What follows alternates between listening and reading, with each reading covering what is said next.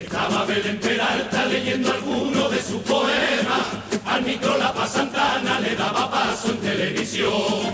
María Jesús Palacio lleva orgullosa de ser bombera. Neto con la sonrisa en el corazón. Nostalgias del carnaval desde Onda Cádiz Televisión. Último programa, por cierto, y el último, por ser el último, menos minutos, 15 minutos solamente. Yo no sé lo que vamos a hablar, pero vamos a aprovechar el tiempo al máximo. Especial 8 de marzo, Día Internacional de la Mujer. Y la mujer tengo que decir, señoras y señores, que nunca ha sido invisible. Lo único que ha ocurrido es que no nos han querido ver. Y como muestra de lo que digo, tenemos pues aquí a las invitadas de hoy que tengo el placer de, presentar en el extremo izquierdo a Elena. Elena, ¿quién es Elena? Elena Pérez Gutiérrez.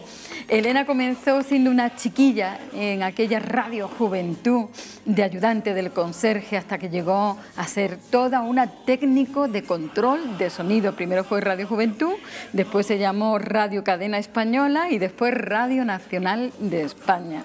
Muy buenos días, bienvenida. Hola. Es un orgullo y un placer. La primera técnico de sonido. Creemos que de Cádiz, de Andalucía y de España. Creo que sí. ¿Eh? La primera es una gaditana. Bueno, y a mi izquierda tenemos a esta señora nacida en la calle Solano, eh, Aurora Marchante, eh, a la espalda de ese gran teatro Falla en el que se llevó tantísimos primeros premios por esos maravillosos disfraces que hacían esas manos que nosotros vemos ahí. También es la madre de la concejala de fiesta de María Román, la abuela, perdón, la abuela.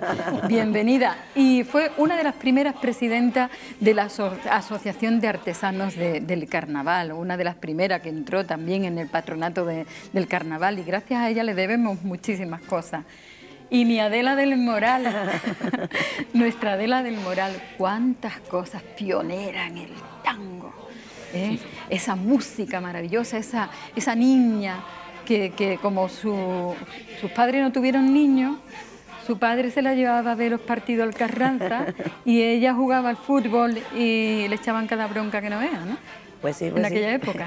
Eh, tengo una foto que, es muy significativa en el Trofeo Carranza con el Benfica, Eusebio, yo me lo sé por eso, y se ve yo con mi padre muy chiquitita y todo lleno de hombres, ¿no? O sea, no es que, sino que el destino también me, yo desde, pequeña me gustaban cosas que, que, bueno, y mi padre como no tuvo hijos, y a mí me gustaban todas las cosas, pues me llevaba a todos lados y yo encantada. Claro, y una familia conservadora, y en aquella época todo lo que no fuera de mujer y femenino era una marimacho. ¿Se acuerdan ustedes? Bueno, pues estudió magisterio, ah. estuvo en el Conservatorio de Música aprendiendo solfeo, guitarra. A ella le hubiera gustado también aprender piano. Sí, sí, eh, un, tiempo en que me puse a dar clases, yo también soy muy anárquica a pesar de, tener lo del conservatorio y eso, entonces eh, estuve dando unas cuantas clases de piano y ya digo, bueno, con esto yo tengo bastante para componer, y me puse en mi casa y compuse algunas cosas y me di cuenta que, bueno, los acordes del piano es lo mismo que de la guitarra. Yo he sido siempre muy curiosa en todos los campos, ¿no? Y tengo como anécdota también que cuando yo era chica, eh, las muñecas lo único que hacía cerrar los ojos y abrirlos, y yo decía, tontería, ¿no? Pero decía, bueno, mm, ¿por qué esta muñeca así? Hasta que conseguí abrirla y me llevé una decisión porque en realidad era una cosita que un mecanismo. un mecanismo tan simple, pero que siempre he tenido curiosidad por muchas cosas, ¿no? Y entonces quizás, bueno, pues el mundo cuando aparecieron los hippies también me encantaba, mi madre, esta niña, esta niña, siempre he tenido esa losa, esa mí también me gustaba, ¿eh? yo quería ser hippie. Por eso cuando este año he visto el, el coro mixto de, la, de lo que llevan, pues a mí me, me encantó, no nada más que la idea, porque me, me vino al recuerdo de la infancia, ¿no? De, de, lo que a mí siempre me ha gustado. ¿no? Pero claro, en mi casa había como esa cosa de que yo era un poquito, mmm, que había tener cuidado un poquito conmigo, cuando yo era un poquito, mmm, vamos, que no era ni me salía del tracto ni nada, como se decía. No, pero era poco común a las demás niñas. Sí, tenía cierta, siempre por, por, las cosas, ¿no? Y sobre todo por, porque no entendía eso, ¿no? Porque yo no podía jugar fútbol, como decía antes, como porque no puedo ser militante, porque no puedo salir en un conjunto, a mí me encantaba, yo veía a los hombres, claro, ahora veo mmm, las mujeres tocando la, batería, o las mujeres, y a mí me encanta, ¿no? Me llena de satisfacción, y además me, me reafirma de que yo en aquel momento, que un poco me sentía en mi casa como que esta niña es muy rara, pues bueno, era rara, ¿no? Que simplemente Que, bueno, igual que yo habría muchísimas personas, muchísimas mujeres que también tendrían los mismos sentimientos. Pero ella abrió el camino a todas las demás que vendrían detrás, ¿no? con esa exquisita música que componía para esos maravillosos tangos de ese coro de las niñas. Y bueno, tenemos que hablar mucho, vamos a ver lo que nos da tiempo. El único hombre entre tantas mujeres, Luis Frade, su marido. Muy buenos días. Hola, buenos días. Soy una especie de polizón aquí metido entre mujeres. De polizón, no, en este Día Internacional de la Mujer es un orgullo tenerte aquí entre nosotras. un hombre que ella tenía 10 años cuando ya la perseguían, ¿no?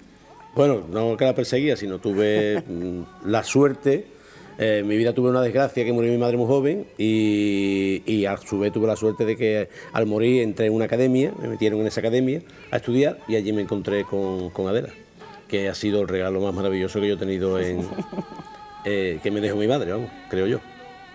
¿Qué significa este Día de la Mujer? Trabajadora, en unas luchadoras innatas como estas tres gaditanas y este gaditano que tenemos hoy aquí con nosotros. Por ejemplo, Elena, ¿qué significa para ti este día una mujer que nunca lo, celebrábamos, pero es que estamos hartitas de trabajar desde el mismo día que nacimos? ¿Qué significa para ti? Hombre, yo, la verdad, para mí ha sido ser mujer y he estado trabajando con muchísimos hombres. para mí ha sido un privilegio. Trabajar con hombres ha sido un privilegio porque ha sido maravilloso son personas que he respetado, me han ayudado y, como compañero, amigo. No tengo nada que, de verdad, que, reprochar a los hombres en absoluto, porque para mí ha sido maravilloso. Y, ha habido momentos que nada más que he sido yo sola la, mujer, y además todo hombre. Y la verdad es que no tengo nada que reprocharle a los hombres que quiere que te diga. ¿Y tú, Aurora?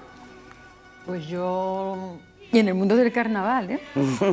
que, era un mundo de hombres. ¿eh? Yo me siento una privilegiada de venir de una madre mm, maltratada, viuda, con 40 años, con siete hijos. Entonces, mi padre, cuando murió yo tenía nueve meses y yo lo que he vivido en mi casa era una mujer libre, trabajadora para sus hijos. Y en mi casa lo que había era un matriarcado que es lo que nosotros reprochamos a los hombres, que no nos dejaran que nos vieran, porque si yo ahora mismo decía, en mi casa con dos hermanos que yo tenía y mis hermanas, que eran un poquito más atrasadas que yo en inquietudes, y yo decía, ¡ay, a la luna! Ay, pues yo quiero ser la primera mujer que llegue a la luna. Entonces me decían, loca, loca. Y de loca para arriba y de loca para abajo me siguen poniendo, pero vamos, yo sé que mi cabeza la tengo con mucha lucidez. y tú, Adela, bueno, también, por favor, hija predilecta, entre otros muchísimos galardones, porque tienes todos, todos, incluso este, es un orgullo. Que Adela de Moral sea también concejal del Ayuntamiento de Cádiz durante cuatro años. Yo de verdad que lo digo con, toda la de la ley, eh, cuando a mí me dan hija predilecta, cuando a mí me dice, yo represento a, muchas mujeres, yo creo que se lo dan a muchas mujeres, ¿no? Porque yo he estado en un coro y he, sido pionera, he creído en lo que estaba haciendo porque nos gustaba, también tenía detrás mucha gente que también pensaban igual que yo. Y los hombres, aunque teníamos ese cierto, cierto eh, no sé, de la época, ¿no? De que, bueno, la gente un poco no... Pero hicimos lo que nos gustaba y entonces ahora cuando me dan esta distinción, la verdad es que yo al principio, ahora estoy muy contenta de que sea así, pero que soy representante de las mujeres, me gusta, me encanta, del mundo del carnaval y, ese premio también es de ella, ¿no? Por supuesto. Ese es un romancero. Adela, pero mm, creo que te pasó algo en la viudita naviera que precisamente ganaste el coro de las niñas a los hombres, primer premio en el concurso del Falla. ¿Qué te ocurrió? Bueno, nos ocurrió que, mm, en, aquel, en aquel año pues pasaban tres coros a la final y nosotros cantábamos y cantaba creo que la Viña Puerto Real y nosotros, el coro de Puerto Real, y a todos los demás, mm, gente coristas, digamos, eran muy jóvenes también, pero bueno, eh, pues a todos le estaban diciendo cosas. Nosotros ya, a nosotros nos han tirado, a la plastina le tiraron, no sé lo que le tiraron, no me acuerdo, pero bueno, que se estaban, y cuando nosotros salimos, pues intentaron boicotear, digamos, la actuación. Cuando tocamos la farseta se ponen a aplaudir así y llega un momento en que empezaron a decir puta ellos y, cabrones, ellos y, y puta ellos, ¿no?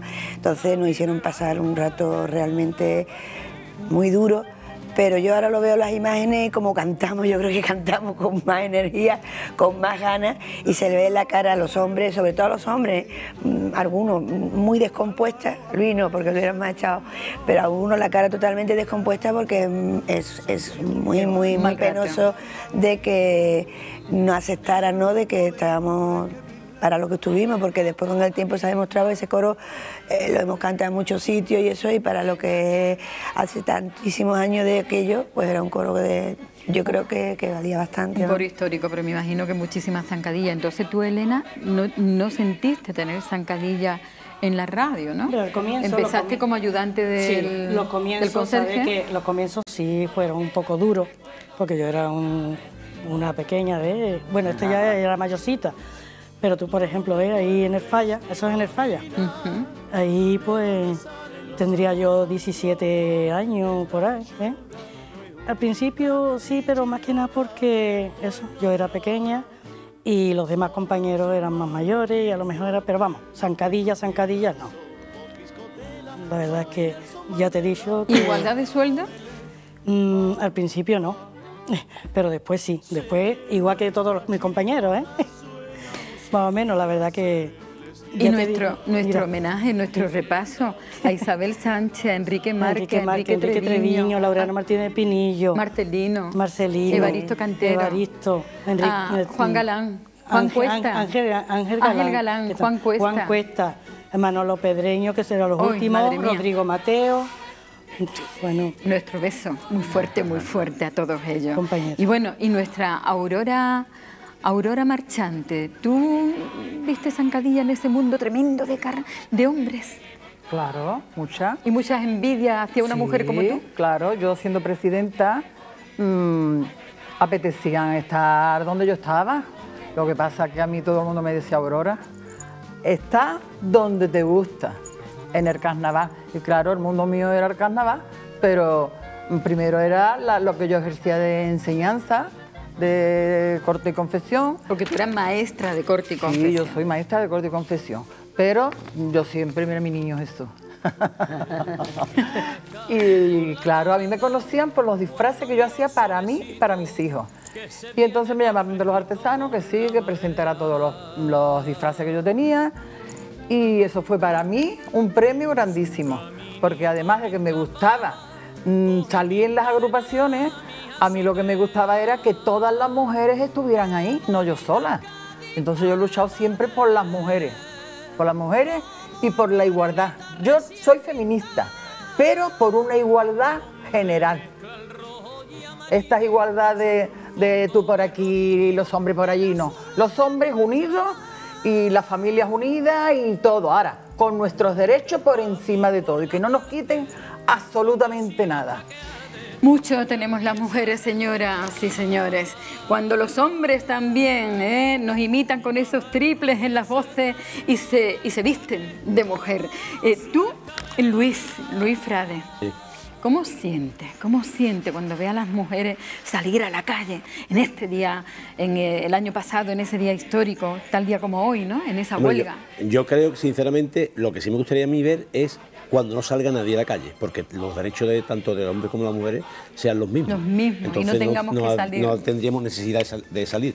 Eh, pero lógicamente yo creo que sí es necesario, porque es verdad que las cosas se consiguen eh, con lucha, y la lucha de la mujer es esa, eh, ahora mismo, porque es verdad que todavía en esta sociedad hay todavía mucho machismo, aunque parezca que no, hay machismo encubierto y y eso es lo que hay que intentar por todos los medios quitarnos del medio, porque como habían dicho Aurora, como dice Adela, como decís todas, eh, el hombre y la mujer somos, somos antes que nada personas y antes que, que hombres y mujeres, entonces todos tenemos los mismos derechos y las mismas y las mismas mm, ganas de hacer cosas y de, de, poder hacer cosas. En cuanto el mundo del carnaval, Yo sí veo que la mujer cada vez se va incorporando más, afortunadamente. Lo que sí me falta a mí, eso es un poco que, eh, que salga una agrupación, tanto comparsa o chirigota, hecha única y exclusivamente por mujeres y cantando de la forma que tienen que cantar las mujeres, como cantan las mujeres. No Autoría, dirigida y no copiando, No copiando la forma ni el sistema de los hombres. Yo creo que cuando pase eso, realmente será cuando realmente la mujer se integre totalmente en el mundo del carnaval, es mi opinión.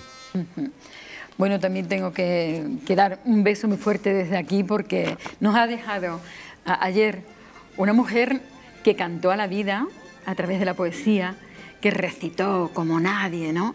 Y que bueno, Juan Ramón Jiménez dijo palabras sobre ella, de esa chiquilla que tenía entonces 15 o 16 años, que nos acaba de dejar una jerezana, pero fincada en Cádiz desde el año 1958. Descanse en paz, nuestra queridísima Pilar Paz Pazamar. Y a mí me gustaría terminar este programa con unas palabras precisamente de una de nuestras invitadas de hoy, que yo le pido, dime de qué te gustaría hablar para que no se nos escape nada, y me decía, me apasiona la música, el deporte, la creatividad y los valores humanos.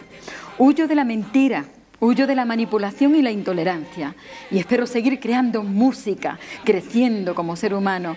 Espero no exigirme tanto y dejar volar la imaginación, sentirme más libre y mucho más independiente pero dependiente siempre de mis dos obras de arte, cada una de sus obras de arte, Hito y Luis, ya que según dijo el poeta, amar es libertad. Y a seguir educando a tantos y tantas niños y niñas en el respeto, la igualdad, la solidaridad, la generosidad, huyendo de la violencia y de las discriminaciones. Pues así ponemos el punto y final hoy a nuestras nostalgias del carnaval por este año 2019 con tres grandes mujeres y un gran hombre, cuatro grandes personas luchando por la igualdad y por la justicia. Nosotros nos encontramos en la radio a partir del próximo lunes en Cádiz contigo de 11 a 2 menos cuarto. Muchísimas gracias. Ahora será Maite Huguet. Llega tiempo de cuaresma.